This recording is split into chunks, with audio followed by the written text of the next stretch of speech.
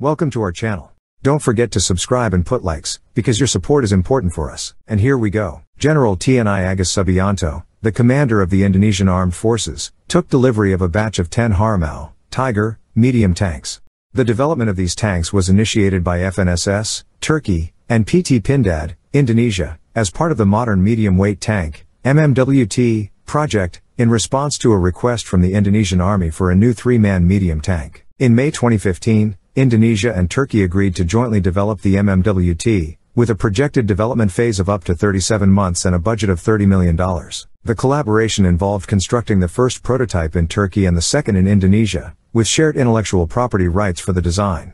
The initial model of the tank was unveiled during the 2016 Indo Defense Expo in Indonesia, showcasing a vehicle weighing approximately 35 tons and equipped with a Belgian-made Cockerill 105mm rifled barrel turret capable of firing various projectiles. The first prototype was presented at the Turkish IDEF 2017 Expo, featuring different turret types and modular armor for quick replacement if damaged. The MMWT was subsequently renamed Kaplan Mount by Turkey and Harimau Medium Tank by Indonesia, both translating to Tiger.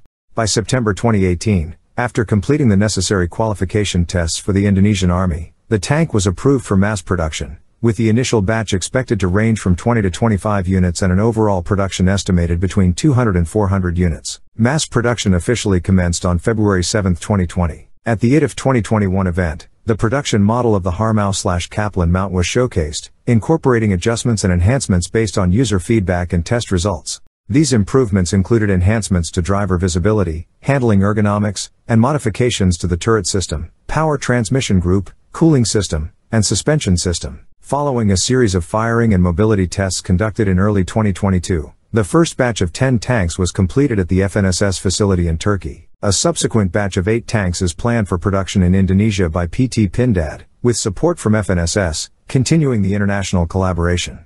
The Harimau is a medium tank developed through collaboration between PT Pindad, Indonesia, and FNSS, Turkey, designed for operational flexibility and suitability for various terrains, including those in the Southeast Asian archipelago. It features a low profile and a suitable power to weight ratio, integrating a rear configuration power pack, electronic control systems, an auxiliary power unit, APU, and a heavy-duty suspension system to support operations in diverse battlefield scenarios. For protection, the Harimau incorporates advanced ballistic and mine resistance systems. The interior is designed with crew ergonomics in mind, supporting efficient driving, firing, and ammunition management in various combat conditions. The tank is equipped with day and thermal imaging cameras, a digital driver's dashboard, third generation sighting systems for the gunner and commander, a battlefield management system, BMS, and a laser warning system, LWS, to enhance situational awareness. Armament includes the Belgian Cockerill 3105 turret housing a high-pressure 105mm Cockerill gun capable of direct and indirect fire. Additional armaments include a NATO standard 105mm rifled gun,